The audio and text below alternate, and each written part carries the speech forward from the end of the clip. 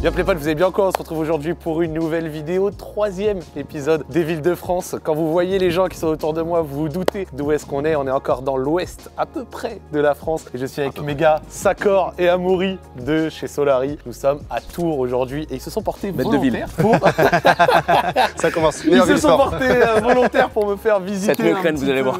Ah, mais moi j'ai hâte de voir, j'ai hâte de voir. Mais ils se sont portés volontaires pour me faire euh, visiter tout. On a trouvé un petit cadre sympa comme ça, juste avant de, de commencer. J'ai pu marcher un petit peu. Et je suis vraiment très content. Ça fait d'ailleurs quelques années que vous habitez ici, je crois. C'est exactement. Donc nous, on est arrivé ici en gros en octobre 2017. Ouais. Parce qu'on a lancé Solari à cette époque-là. On est arrivé à Tours. On s'est dit bon allez Tours c'est sympa, c'est pas trop loin de Paris, on y va. Et euh, c'est vrai que maintenant, bah, on commence un petit peu à connaître euh, l'endroit. Enfin surtout à Maury quoi. C'est pour ça. Il est venu connaître l'endroit, que- on connaît la ville, mais c'est que moi je sors un peu plus que les autres. on va ça, dire. il sort un peu plus que nous. Nous, En fait, on je suis est le seul, tu sais, je suis seul de la boîte habitant en centre-ville. Quand je suis allé voir, quand je suis allé voir Sakar pour lui proposer le concept, il m'a dit alors moi je suis ok. Mais je vais demander à Amaury parce qu'Amaury tu verras, il va te carrer, il va nous faire plaisir. C'est ça, il va nous faire visiter tout, tranquille. Exactement, donc on va pouvoir aller checker un petit peu. Donc euh, les Tourangeaux, je crois que votre ville, elle est mignonne et on a envie de voir ça. Donc euh, nous allons commencer.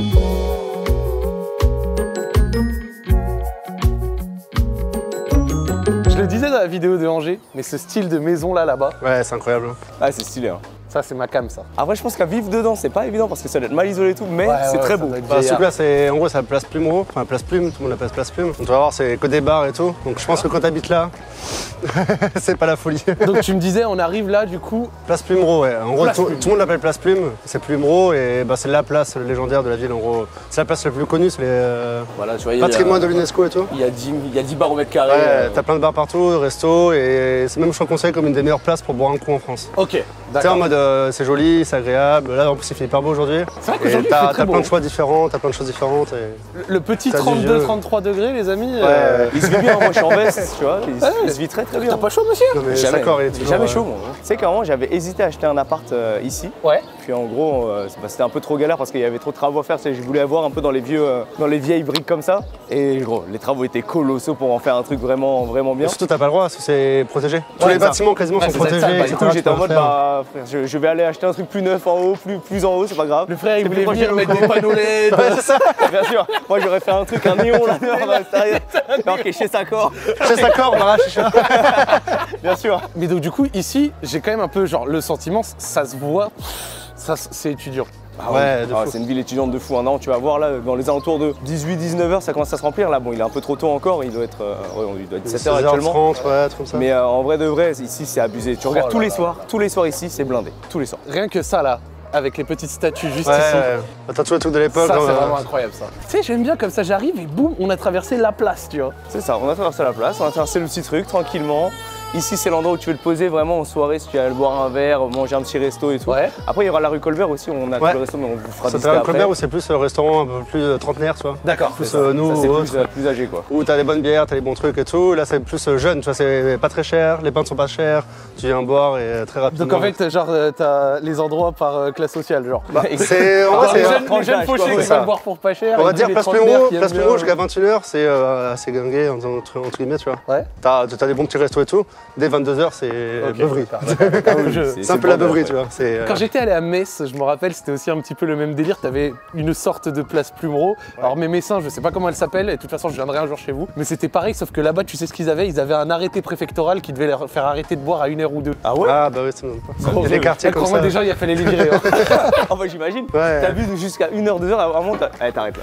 C'est mort. C'est bon, monsieur. Là, c'est là, bon, vous rentrez chez Tu vous. prends ton verre, tu rentres. Non, non, ça marche pas. Alors, il m'a dit, toi, comment ils étaient ravis, les étudiants, au moment de devoir euh, partir à une. Mais c'est vraiment. C'est c'est énervé. Les bâtiments sont pas très hauts, on a la chance à Tours aussi, tu vois, il y a 3 mètres de haute, enfin 3 étages. Ah, c'est assez dégagé, gros, ouais. Ça c'est dégagé, derrière tu vois les gros bâtiments, les vieilles bâtisses euh, qui sont là quoi. La tour Charlemagne, qui est juste là. C'est quoi, c'est une cathédrale, ça, du coup? C'est euh, une ancienne tour qui a été des... Je me rappelle la dernière fois, j'avais vu les photos, elle était détruite pendant la guerre je crois. Ok, Ils l'ont complètement retapée et tout. d'accord. Et c'est un, un peu le, un des emblèmes de la ville aussi, tu vois. Quand t'es en haut, t'as une vue de fou sur la ville directement. Tu sais que tu viens de. t'as- T'as fait une remarque que je n'avais pas remarquée directement, mais euh, c'est vrai que c'est pas très haut, les bâtiments. Ouais, ouais, justement. ouais. Ah, regarde, fais le tour avec nous, genre, mais re- regarde quand on voit un petit peu tout ça là, tout fait un ou deux étages. Et euh, voire 3. C'est vrai que t'as pas des grands immeubles. T'as pas les grands immeubles et tout, ouais. C'est ça, et ça fait une C'est ambiance c'est que peu, du vieux. euh, Bah, c'est pour ça, c'est vraiment le quartier du vieux tour, tu vois. Donc, euh, C'est beau ça. J'étais venu pour la DreamHack Tour en 2017 et j'avais pu voir un tout petit peu de la ville et ça, ça m'avait paru très charmant, tu vois. Regarde comme on voit là, ouais, par genre de exemple, place, ici, elle est magnifique. ce genre de petites places, petits parcs, un peu de verdure, des bâtiments mignons, un peu atypiques et tout, c'est vraiment très stylé. J'aime bien un autre truc et ça c'est grâce à la vidéo de Angers. Donc euh, tu sais, on est en plein milieu de vidéo, je me permets de vous parler un petit peu d'exclusivité. Il y a euh, le Centre des Monuments Nationaux qui m'a contacté après avoir vu la vidéo de Angers et qui a vraiment beaucoup kiffé ce qu'on avait fait là-bas et ils nous ont permis d'avoir accès à des monuments du coup pour les prochaines émissions, pour les prochaines éditions pardon. Donc là tout à l'heure on aura accès à un, à un petit truc mais je vous en dis pas plus, on verra. On en parlera dès la qu'on y arrivera, quoi. Bien sûr, mais je suis content Voilà. de pouvoir Ah, c'est grave cool en vrai ça comme truc. Là, c'est tout café, petit café, dès 18h. Tu vas avoir ton petit coup là, tranquille. C'est bien. J'avoue que là, tu vois, les C'est apparts hyper ici, calme. ils sont OP. tu vois. Ouais, t'es là, bien, tu vois, Là maintenant bien. T'es le roi du monde. T'as rien, t'as pas de vis-à-vis, t'as rien. Enfin. Ouais. Ça c'est pareil, tu tournes la tête et en gros tu retrouves les, les petites tours, la basilique à côté. Ça, c'est illuminé en plus la nuit. C'est illuminé en bleu, je crois. Ok, ok. Et c'est assez stylé aussi. Et en gros, au fond, là-bas, il y a. Bah, après, c'est en travaux, c'est pour ça qu'on va pas y aller. T'as les halles, en gros, c'est le gros marché des halles. Tous les samedis matins, t'as les, euh, t'as tous les agriculteurs et tout de la région qui ramènent leur bouffe, etc.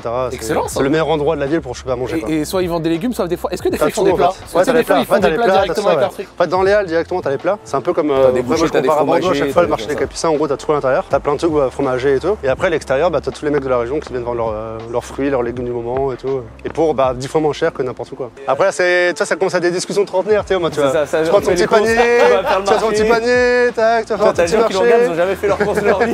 Je suis mort parce que d'avoir vraiment des jeunes qui nous regardent, vous serez comme ça vous aussi dans quelques années. Du coup, c'est quoi le next step? Maintenant, on va se rapprocher de la grande rue euh, commerçante. nationale. Ok, T'as la rue nationale en gros qui traverse euh, toute la ville. Là on arrive, bon, là on est dans la rue des Halles justement qui va au Halles. ok. Et en gros dans cette rue là, c'est t'as pas mal de commerces aussi, mais c'est surtout des commerces un peu plus, euh, un peu plus riches. Tu t'as- t'as du Lacoste, tu commences à voir la marque, je sais plus, c'est peut-être pas Hermès, mais peut-être t'as tout ce genre de magasins tu sais, un petit peu. Bah, la rue nationale qu'on va voir après, elle c'est la grande rue qui traverse toute la ville, Le centre commerçant. c'est ça. Avec bah, le tram qui traverse la ville justement. euh, Ok. Ah, il y a un tram, euh, il fait le taf. À Tours, en vrai, c'est assez pratique. En vrai, les transports à Tours sont pas mal. Ok. Parce que tu as des bus qui, sont, euh, qui font quand même pas mal de, euh, de place et le tram qui fait euh, aussi, qui est là jusqu'à tard, donc là jusqu'à 22, 23 heures même. Ouais, même jusqu'à minuit, une heure à peu près, ouais. Ok, ça va, ça va, ça va. Donc, tout, ça- bah, ça nous le taf bien, est à Tour Nord, donc en gros c'est tout au bout là-bas au fond, un peu, un peu loin. Le tram Et le tram va quasiment à côté, tu vois. Ça met bien. Et en gros, tu te ramènes après en centre-ville et après tu peux aller tour sud.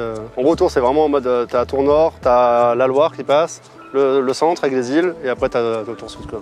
Et donc là, on est sur l'artère un petit peu principale que tu disais, c'est ça? Bah, En gros, c'est la rue nationale où t'as tous les magasins. Tu veux trouver tout ce que tu veux en gros. C'est là où tu arrives après, ensuite. euh, Que ce soit du la shopping, que ce soit tu même des magasins en mode euh, Free, Orange, La Poste, ouais, tout. tout est là, tout est T'as- là, T'as tout est vraiment tout, t'as bah, la Fnac, euh, Galerie Lafayette. Mais là-bas, tu vois, c'est pas Jean Jaurès où t'as la, la Belle Fontaine, euh, la- la- l'hôtel de ville est magnifique. C'est excellent. Et à l'inverse, là-bas, Et à l'inverse, au-dessus, là-bas- c'est la Loire. C'est ça, C'est en ça, gros, la Loire qui euh, me traverse de gauche à droite. Ok. Et euh, ensuite, au-dessus, c'est la tranchée.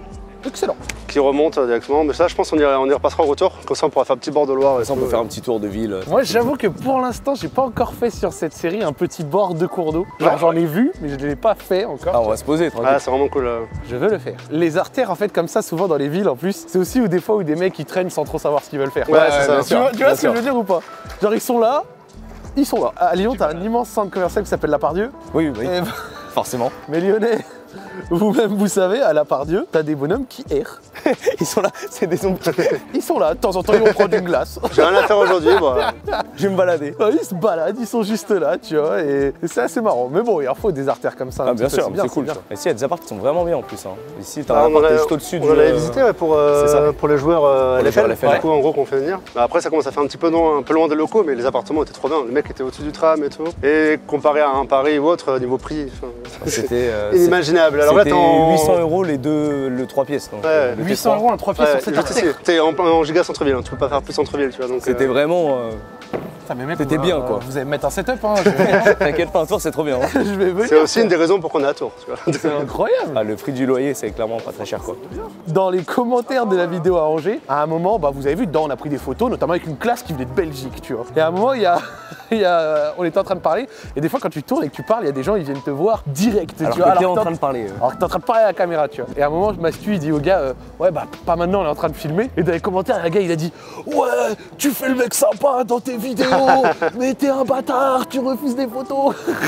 Juste, il a dit attends un peu, tu finis ta phrase, et après, il aurait pris la photo. wesh. Moi, je prends comme témoin mon gars Tom qui tient cette même caméra et qui a déjà réalisé les deux premières vidéos. Croyez-moi, il y a eu beaucoup de monde qui est venu, mais à chaque fois, ça s'est très bien passé. Donc, vous inquiétez pas. Quand on tourne, c'est normal, mais il n'y a pas de problème. Par contre, je suis séduit par ce, cette mini-allée là. Ah, Tu vois, c'est c'est propre. Tu vois, genre, t'es là, tu te dis, c'est classe. Quand tu te balades là, c'est. C'est pour ça, c'est le genre d'endroit que tu, tu peux ramener ta meuf justement, comme tu dis. c'est pas l'endroit ghetto un peu Toi, t'es bizarre. quelqu'un de bien renseigné, toi. T'es quelqu'un de bien. Ouais, renseigné. je suis renseigné, c'est parce que voilà, j'ai des potes qui ont ramené leur meuf ici déjà. Donc, Voilà, exactement. forcément, tu vois, ils m'ont dit quoi. Alors là, on arrive sur, euh, quand même, euh, j'ai le sentiment, euh, montre-leur euh, mon Tom, mais c'est c'est très joli. Là, ça va être notre hôtel de ville quoi. En gros, là, ça remonte très loin. Jusqu'au Cher, je crois. C'est ça. Ah, Parce qu'en gros, t'as la Loire en haut et le Cher en bas, donc c'est deux fleuves. Monsieur. Et le truc très joli, c'est bah, Monsieur derrière. Hein. Ah, monsieur C'est vrai que la gueule. ici. L'hôtel de ville, là, l'hôtel de ville, je trouve, il a vraiment de la gueule. Avec la petite Ah, fontaine et tout. Franchement, euh, Tu vois, là, tu te poses ici, ça c'est beau ça, monsieur. tu prends un petit café, t'es là, tu te cales, t'as ta petite fontaine. C'est qu'après, t'as pas mal de petites terrasses à côté. Bah, t'as un Starbucks qui est là, hein, bien sûr, il a très bien compris hein, comment ça marche Bah ouais, ici. euh, ils sont bien. hein. hop. Et après, je connais pas le climat de Tours et tout, tu vois, ni euh, je m'y connais pas en plantes. Mais j'avoue que voir des palmiers, Ouais, ouais, c'est un pour moi, peu. les palmiers, c'est plus Miami que Tours, quoi. Tu Non, vois. ils ont un peu abusé, j'avoue qu'ils ont un peu abusé. Non, mais regardez, il y a des palmiers Ouais, juste là, par exemple, Non, j'avoue, ils ont juste devant l'hôtel de ville. Mais franchement, il est assez grand. Après, on a un maire écolo, on a un maire vert, du coup, il y a beaucoup de. ça, ça, s'est développé de ouf. donc, Après, j'avoue qu'en plus de ça, Tours, normalement, c'est une ville où il pleut beaucoup. C'est Ouais. assez gris Ok, en fait. ok, je vois le délire. C'est pas non plus la ville où il fait beau comme ça tout le Pas temps. non plus beaucoup, on va comparer à d'autres villes, mais en vrai, ça va. Bah, c'est ça va, ouais, ça va. il y, a un petit, euh, il y a un petit climat qui est, on va dire, assez. euh, c'est un peu comme Paris au final, le, le climat, sans la pollution. Donc ça, Tu, c'est vois, pas tu mal. vois, moi, un des trucs que j'aime bien, quand tu regardes tout en haut, là, par exemple, de l'hôtel de ville, sur les statues, et notamment en haut, là où c'est bleu, c'est qu'en fait, des fois, quand c'est tellement vieux, avec la pluie et le temps, ça se dégrade et ça coule en dessous. Et c'est ce que tu vois un peu en dégradation Ouais, sur c'est les statues, oxydé en gros directement. ouais. Et ben, je trouve que ça donne un flow. Ouais, j'avoue que c'est stylé. Parce que c'est un peu délavé, Bah, mais tu sens ça que donne de l'époque, etc. Quoi, que c'est pas neuf, ça C'est authentique, refait ou en autre. fait, tu vois. Ouais. Et c'est ce que tu ressens aussi, bah, du coup, sur tout ce qu'on regarde sur l'hôtel de ville et tout, et ça donne de la gueule.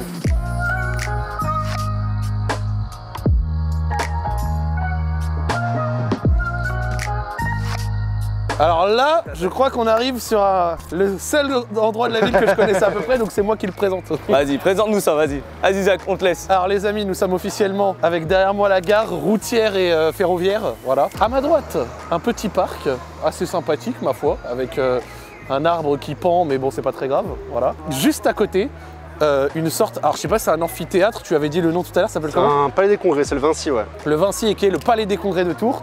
Et c'est là où il y avait la DreamHack Tour en 2016 et en 2017. À l'époque, c'est pour ça que je venais sur Tours. Et c'était assez stylé parce qu'on avait du coup la gare juste là et l'endroit de pourquoi tu étais venu juste en face. Je me rappelle pendant les DreamHack, quand tu venais de perdre une game, t'avais besoin de souffler un peu, tu venais t'allonger dans l'herbe, réfléchir à pourquoi tu t'es fait déchirer en lane, ça faisait plaisir. Vous pouvez crier dehors. Genre, tu vois, putain, pourquoi j'ai piqué ce Renekton, je me suis fait dé- et puis je me suis fait péter le cul. J'avais besoin de me mettre sous cet arbre, tu vois. Pourquoi ce renecton Pourquoi? Pourquoi? Je ne comprends pas, tu vois. C'est ça, c'est un bail à faire des photos de mariage, ça. Avec une traînée, comme mignon, ça, hein. tu Il n'y avait vois. pas ça à l'époque où je perdais mes games avec Renekton. Il y avait des ronces Il y avait que des pics et tout Il n'y avait plus rien, il n'y avait aucune plante, rien en vie. Un petit drip comme ça, tu vois. Regarde, le Un petit drip check là. un peu de Drip check. pas mal. Pas mal. Regarde, on est en short et tout. En fait, j'ai le sentiment que quand t'arrives à Tours, direct tu sors, t'as une bonne impression. Ouais, c'est ça, c'est Tu vois ce que je veux dire sortir là, Ça, t'es ouais. bien quoi. Parce qu'il y a souvent de l'activité en plus. Souvent, les gares, c'est pas fou. hein. Ouais, Parce que les- Quand t'arrives gares, dans les villes, souvent, euh, Par exemple, Bah, t'arrives à la gare de Nantes. T'arrives gare du Nord, Oui, Gare du Nord, c'est pas ouf. Gare du Nord, mon gars, je te jure. tu sors, t'es pas super bien, tu vois. Ah, je devais y passer tous les jours à l'époque quand j'étais étudiant en région parisienne. Je te promets que des fois, c'était pas ouf. Ça, le petit palais des congrès, il envoyait bien sévère. hein. Ça, c'était très joli, ça. Il y a une légende, et c'est pas une légende, mais ça reste véridique. C'est une réalité. À cause de la DreamHack, suite à la DreamHack, il y a un McDo juste à côté. Il a jamais fait son meilleur chiffre de tous les temps de la fin d'une DreamHack. Ah ouais Tellement les gens, bah. Ouais. Le McDo à côté, tous les geeks Ouais. qui allaient manger au McDo Ouais, autour. bien sûr, bien sûr, Le bien sûr. chiffre de toute la Touraine, c'est le plus gros chiffre de la DreamHack. Donc à chaque fois qu'ils parlent de la DreamHack, ils veulent vendre le truc comme de regarder, ça fait exploser Ça les fait commerces à côté, bien sûr, etc. bien sûr, bien sûr. Bah juste, bah ouais, tu Alors sors, que ça fait juste tu sors, le t'as un McDo. McDo juste à côté, tu vois, mais... La vérité, c'est que ça fait juste vivre le McDo. sont C'est juste ça le, le problème du chiffre. hein. euh, Donc, donc là, on a une petite allée avec des petits euh, des coiffeurs, des petits restos, des petites boulangeries. Donc, Ouais. je sais que j'ai mon coiffeur qui est, euh, qui est ici d'ailleurs. Est-ce que c'est celui qui t'a fait la coupe de Yanis Exactement, exactement. C'est lui qui m'a fait les petites bouclettes avant que ça devienne justement cette coupe que je voulais. Si vous connaissez pas Sakor, vous allez avoir une photo. Il avait une coupe de cheveux. Alors moi j'avais des bouclettes quoi. Il s'appelait vraiment Yanis. Il est passé de Sakor euh, cambodgien à Yanis euh, algérien. Franchement, ça, t'es bien, parce que frère, moi, il y a, moi, y a Ah, plein, bien. c'est.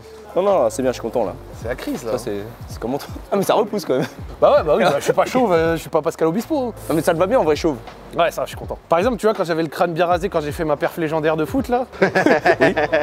Avouez, quand, quand vous voyez ça. Tu dis t'es un ouais. joueur pro. Ah, mais Non. de ouf Non, on n'aurait pas dit que j'étais calamiteux.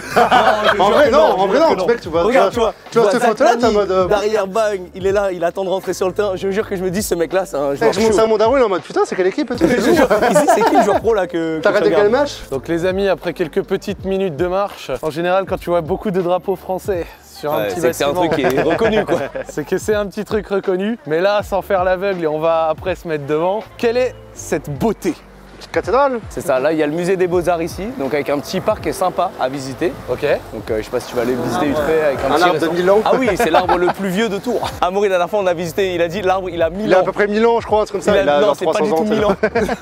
c'est un américain de fou. On était en live et tout, j'étais Tu m'as là. fait douter pendant J'étais là en mode, ouais, non, mais là, on a un arbre de 1000 ans, et c'était en mode, ah ouais, ouais, lourd et tout. Il est immense l'arbre. Oh, il est immense par contre. Il est vraiment. euh, Il est non, il a genre 300, je crois, 300 ans, je me rappelle plus trop combien. Voilà, et d'ailleurs, t'as un petit parc et tout assez classique. Et là, t'as le musée des Beaux-Arts. Donc, euh, t'as des périodes où tu peux le visiter euh, gratuitement dans certaines. Ouais, mais c'est toujours pareil, c'est la journée du patrimoine et ça, tout. Tu peux te balader justement et, euh, Et ça t'as a fait t'as peu. des hein. jardins là-bas, je suppose Exact. C'est ça, t'as tous les jardins derrière et en fait, euh, bah là ça a dû commencer, ça commence en juin. Le soir, t'as des euh, diffusions sur, le, sur tout le bâtiment des Beaux-Arts. D'accord. En gros, t'as des diffusions de lumière, Des images. des images, lumières, etc., ouais, ouais, avec ouais, de la musique et tout. Et en gros, tout le monde se pose à 22h, 23h et, et c'est ouvert au public quoi. Donc c'est montre-leur la forme, ne serait-ce que de ça. Ah, L'arbre, il est fou. Ah non, il est énorme. Regarde la forme de la, branche, là. Ah, l'arbre, voilà. il est colossal. Hein. Oh là là là là là là là Le musée des Beaux-Arts qui est juste à côté de la cathédrale, on va passer devant, et qui est également juste à côté du cloître, où là on va pouvoir rentrer. Oh là là, mais monsieur Elle est belle notre cathédrale. Oh là là C'est énervé, sérieux. Moi, tu vois, moi je suis musulman, et en fait, en tant que religieux, je comprends euh, l'attrait que les personnes peuvent avoir pour euh, les monuments du coup et les cathédrales, euh, mais même pas forcément cathédrales juste chrétiennes, tu vois, même des monuments bouddhistes ailleurs et tout machin. Je trouve, et j'en parlais en live, et même des athées me disaient, même si je crois pas, les édifices religieux, ça envoie un truc, ça dégage quelque Moi, je suis chose. moi qui est athée, tu vois, je trouve que tu vois, ça, ça a de la gueule, tu vois, ça a de la prestance. T'arrives, tu te dis waouh, tu vois. T'arrives devant un truc qui est énorme, Ouais. tu te dis comment ils ont construit ça, comment tu fais pour construire ce truc aussi, euh, massif, aussi gros. tout, Tu vois, même moi en tant que musulman, là, je passe devant une cathédrale et franchement, genre en termes de beauté, je sais pas, je suis là, putain, c'est beau, tu vois. Genre, euh, c'est cool à voir, tu vois. Et à l'inverse, et vous ferez vos recherches, mais il y, a y des mosquées magnifiques, genre par exemple, il y a une mosquée bleue à Istanbul. C'est- Ah, tu prends une claque quoi. Ouais, ouais, mec, la mosquée bleue d'Istanbul, par exemple, c'est vraiment une dinguerie, tu vois. Et j'ai vu des temples pareils en Asie du Sud-Est qui étaient. Ouais, bah, euh, pareil, c'est quand tu vois les temples d'Angkor Wat, des trucs comme ça, tu vois, c'est pas des trucs euh, religieux et tout, mais tu vois, c'est des trucs qui ont été créés à Ouais. l'époque. Ouais, et tu sûr, te dis, mais comment ça s'est fait, quoi Ces trucs-là, moi, je sais que j'ai visité, c'est énorme, c'est énorme, c'est ouf. Les amis, nous sommes enfin arrivés au cloître. Voilà, on était juste devant dans la cathédrale. Et nous avons en plus avec nous, euh, comme je vous l'ai dit, euh, je remercie le Centre des Monuments Nationaux de nous accueillir, une gentille personne qui va pouvoir nous aider à visiter. Bonjour, déjà, comment vous vous appelez? Parce que je vous ai même pas demandé. Bonjour, donc moi je m'appelle Morgane, je travaille au cloître depuis un an et demi, donc c'est encore assez récent. Je vais donner des petites anecdotes, je ne dis pas que tout sera parfait, mais ce que je vais vous dire normalement ça devrait le faire. Excellent, ça fait plaisir. Et ce que je vois, euh, il y a des pierres un peu partout, des choses là, c'est en travaux? Alors, pas du tout, en fait vous avez du coup les travaux sur le flanc nord de la cathédrale, euh, qui sont là un petit peu cachés, on les fera mieux de l'autre côté. Et donc les petites pierres que vous voyez ici, donc ce sont des vestiges de la première moitié du XXe siècle de la cathédrale. Donc euh, en fait normalement c'est pas vraiment accessible au public. C'est un coup de chance que ce soit là. D'accord. Il y en a beaucoup qui sont cachés, mais au niveau de la cathédrale. Parce que j'avais regardé un petit peu avant de venir, juste histoire de savoir où je mettais les pieds, et j'avais vu que le cloître, alors je sais pas exactement pour la cathédrale, mais j'ai vu, il avait genre 580 ans, un truc comme ça. Alors, époque Renaissance. Là, vous êtes dans la galerie médiévale, donc la plus vieille, euh, construite vers 1442. N'hésitez pas en même temps si vous avez des questions, si vous ne connaissez Bah, pas, que- l'occasion. question euh, bête comme ça, à, à quoi sert un cloître ça? Est-ce que c'était un endroit où venaient des personnes religieuses? C'était quoi le but de cet endroit au moment où il a été Alors, construit? le cloître, c'est le lieu de travail des chanoines. D'accord. Donc la principale mission des chanoines, donc c'est euh, de prier. Leur deuxième mission, on montrera tout à l'heure dans les, dans les salles, c'était euh, l'art de l'enluminure. C'était les écritures sur les livres, euh, sur les premières de couverture généralement, et même à l'intérieur. Et ils habitaient autour, dans le quartier. Donc c'était un petit peu leur euh, refuge, leur C'était espace. leur lieu de leur lieu de travail en fait. Ils avaient, ouais voilà, c'est un peu les bureaux. C'était leur locaux, Grossièrement, leur c'est les bureaux, c'est très bien. Donc en fait, le cloître de la Psalette, il est hyper connu parce que la Psalette, ça vient du chant des psaumes. Cette porte mène à une ancienne école de musique. Parce qu'à l'époque, les cloîtres étaient souvent avec des écoles de musique. Très bien. Et c'est ultra connu pour ça. Super, super. Voilà. Et du coup, ça a été depuis, je suppose, condamné. Rebouché, condamné, maison privée derrière. Ok, super, super. On s'arrête à cette deuxième porte qui est beaucoup en meilleur état que la première. Ça se voit. Celle-ci, elle menait à la résidence du pré-chantre. Le pré-chantre, c'était le chef des champs. Ok, Donc là, on est sur la terrasse très bien. est. Là, vous avez quand même une jolie vue. Du coup, le loyer, on disait combien à peu près 800 On est sur prend- 800 on les euros petit à. Euh, Qu'est-ce que je peux vous dire ici? Bah si, on va parler de la taille des tours, ce qui est pas mal. Ouais, c'est propre. 69 et 70 mètres. Elles font pas la même hauteur. Et puis du coup, si vous vous posez la question, la cathédrale, elle a été faite entre le 13 et le 16e siècle. Très bien. Mais ça, c'est parce que j'ai vu la vidéo d'Angers, j'ai vu que vous disiez que les parents et les petits-fils et les petits-petits-fils ne voyaient pas euh, La fin. suite, la fin des travaux. Bah là, c'est un peu pareil parce que vous voyez, il y a toujours des travaux. Moi, le plus classique en termes de trucs travaux, où, genre c'est un des plus connus, mais à Sagrada Familia, Ouais, où on a l'impression qu'on verra jamais ça la fin. s'arrête jamais. Bah c'est pareil, là vous arrêtez d'un côté, vous faites l'autre côté, l'autre côté est fini, vous pourrez revenir là parce que c'est déjà presque abîmé en Ouais, fait. ouais, ouais. Genre à moins de travaux genre simultanés de tout en Ouais, même temps. En deux mois. Une bonne fois pour toutes. Enfin, une bonne fois pour toutes en plus, non, parce qu'il faudra refaire. Ouais, bah c'est ça, ouais, c'est ça. sans cesse en fait. Ouais, là, je viens d'apprendre un truc. Bah, je savais pas pourquoi eh est-ce que bah, dans les mieux. cathédrales, dans les moins, trucs, j'ai servi à quelque chose. Ça se faisait toujours. Non, mais euh, votre présence est super agréable. Et du coup aussi, ce que je peux vous dire de plus, c'est euh, la rosace, là c'est une petite anecdote sympa. Vous voyez un menu central. Ouais, À la base, il n'y était pas, d'accord. mais en fait, les vitraux sont tellement grands et il y a tellement peu de pierres qu'en fait, ça s'affaissait. Ok, Poids, Et euh, pour pas que ça s'écrase complètement, ils ont, eu, ils ont mis le meneau. ok. Donc là, on est dans le scriptorium. Très bien. Donc c'est la seule pièce chauffée du cloître parce que c'était la pièce où les chanoines y travaillaient. Vous avez l'énorme cheminée du coup et les chanoines étaient aux fenêtres. On est plein sud, donc c'est là où il y avait le plus de lumière. Et du coup, on arrive bah, dans la plus belle pièce. Oh, ça, ça Ouais. envoie, ça. Oh, ça, ça envoie, ça. Là, on est dans la bibliothèque.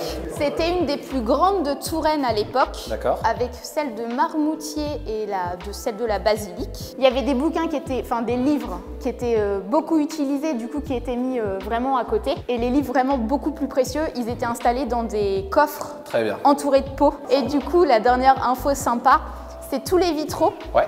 Ils sont tous différents. Ce sont des vitraux des années 60, donc c'est Max Ingrand qui les a faits. Et ce sont les arts libéraux modernisés. Les couleurs, le tout. Et là encore, le soleil, il tape plus le matin, ça tape doit vraiment, et du coup, ça éclaire derrière, partout ouais. sur le sol et tout. euh, Eh ben écoutez, franchement, merci énormément de cette petite visite. C'était Euh, rapide, mais. Non, mais c'était euh, excellent, c'était nickel, c'était juste ce qu'il fallait pour qu'on puisse comprendre, voir un petit peu, avoir des petites anecdotes et tout. Vous avez rendu le truc super digeste. Bah, c'est cool. Donc franchement, merci beaucoup. Bah, de rien, Merci ça m'a fait plaisir. Et j'espère également que vous avez apprécié, les amis. Je remercie encore une fois le Centre des Monuments Nationaux de nous avoir permis d'avoir accès ici avec des explications et tout. Ça va ajouter des petites choses aux vidéos et franchement, euh, je pense que c'est un truc qu'on répétera pour euh, les prochaines. D'ailleurs, je vous annoncerai les prochaines en fin de vidéo, donc euh, ça fait super plaisir. Mais merci, le Centre des Monuments Nationaux, vous êtes des bons. Visitez votre pays, les amis. Il y a de belles choses.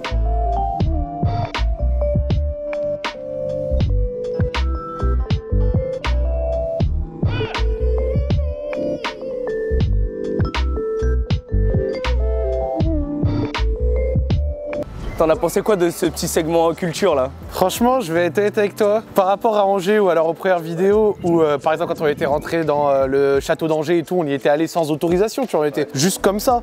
Bah, c'est beaucoup plus gratifiant de pouvoir le faire en la ayant. personne qui t'explique. Ouais, tout, en ayant euh, l'autorisation, en ayant Ouais, une personne qui autorise à le faire, et je trouve vraiment que ça rajoute un vrai truc à la vidéo. D'accord. Bah ça rajoute un petit en plus, tu vois, là le côté où elle connaît déjà, elle Ouais. sait de quoi elle parle. Bah donc ouais. Forcément, toi t'arrives, tu prends plein d'infos plein la gueule et c'est trop intéressant. Tu vois, genre par exemple, si imaginons nous on était avec nous-mêmes dans la salle d'en haut, je t'aurais fait oh t'imagines le vent et les on fait une sangliers. soirée de fou Les grandes tapées là, allez le poulet Non, non, les mecs, c'était les moyens.